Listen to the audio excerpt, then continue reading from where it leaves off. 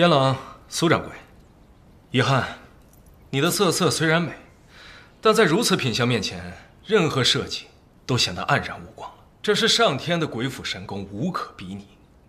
这次，我就跟崔掌柜合作了。不过，这明镜台的款式确实独步于扬州，我康某记下了。多谢康郎君的赏识，明镜台这般也算是如愿了。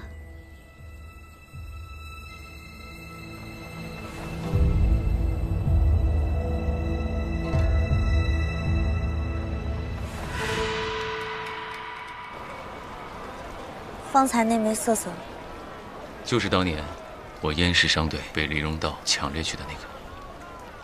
这世间绝无二品，本来是要送进宫里的，可没想到崔十九居然把它拆了，真是暴殄天物。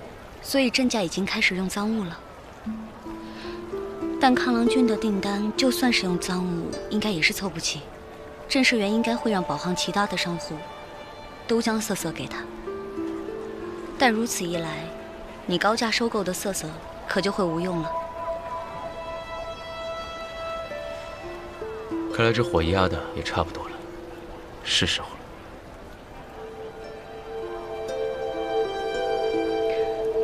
不如以明镜台的名义，你又打算干什么？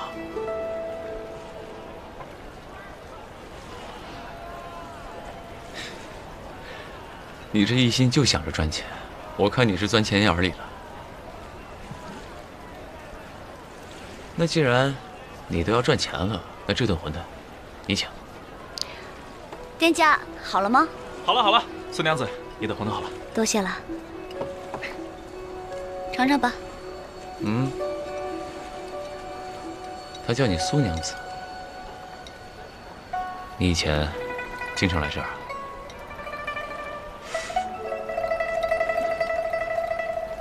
初到扬州的时候，常来。那那个时候你，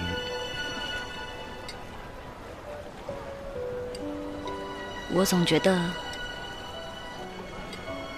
活着的人更重要。就像前方的路比来时的路重要。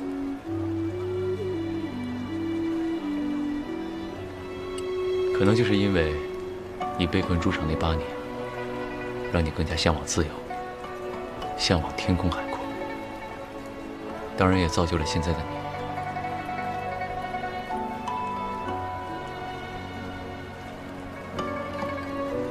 兴许是吧。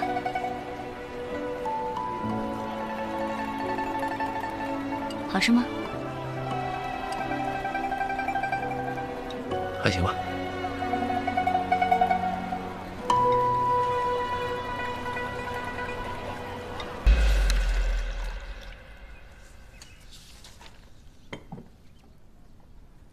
真没想到这几个老家伙竟然被你鼓动了。怎么能说是鼓动呢？只能说送上门的钱谁不想赚呢？这都高价收来的，有什么可开心的？别管高价不高价了，我要的就是正事，从我这儿拿瑟瑟，目的达到了。那这么说的话，你是要跟我作对啊？我手里也不少瑟瑟呢。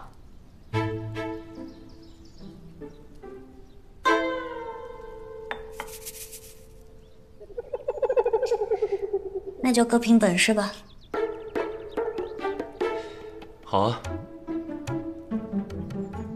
可你别忘了，我的色色都是低价收来的，无论你什么价格，我都可以比你低上三成。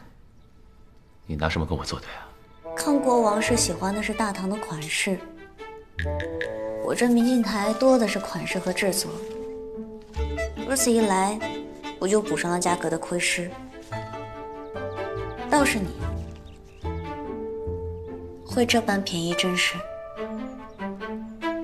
不会吧？那这么说来的话，你也没有多大优势吗？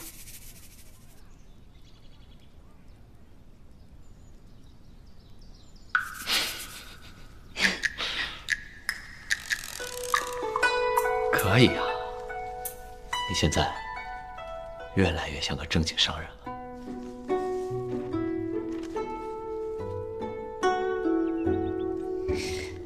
不知道这郑行首如今在做什么打算？